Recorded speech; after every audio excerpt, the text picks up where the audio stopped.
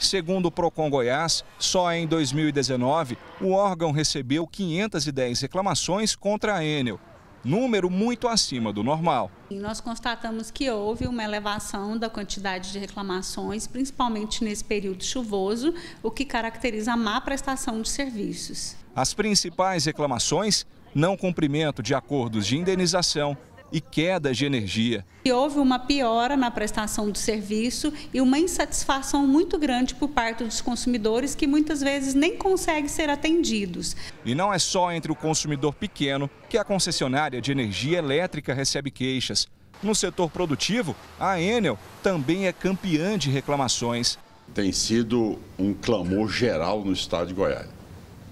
Posso dizer que não apenas no setor de indústria, é, do comércio, mas do pequeno consumidor, do cidadão no interior, nas cidades.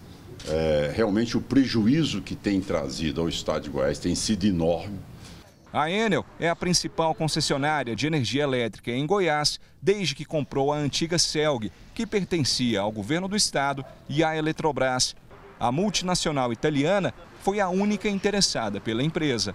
Os donos são novos, mas os problemas são antigos. Segundo a ANEEL, a Agência Nacional de Energia Elétrica, a concessionária é a pior do Brasil. Em média, são 26 horas de apagão por ano, mais que o dobro da segunda pior.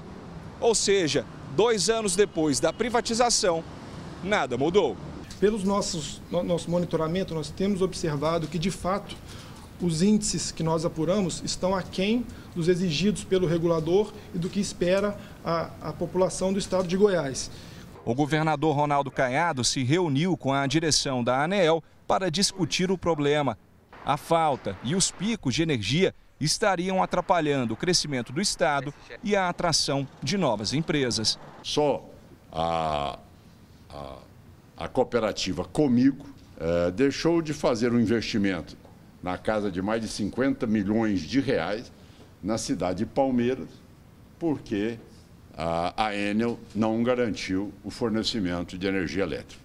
Situações como essas, em que citei há poucos dias que estive na cidade de Jataí, onde um empresário construiu lá uma churrascaria, ele teve que adquirir dois geradores queimando óleo diesel dentro da cidade para poder colocar a churrascaria dele para funcionar. Segundo a ANEEL, o problema não seria falta de energia elétrica, e sim a distribuição, que é responsabilidade da Enel. Uma reunião entre representantes da agência e da empresa está marcada para a semana que vem, para que se discuta um plano emergencial para o Estado. Em último caso, existe a possibilidade legal de troca de concessionária. A ANEL tem todos os instrumentos para garantir que esse serviço seja prestado da melhor qualidade. A intervenção seria um, último passo, um caso mais extremo, mas hoje nós acreditamos que com os meios de fiscalização, exigência de investimentos, nós conseguiremos é, buscar uma melhoria da qualidade do serviço.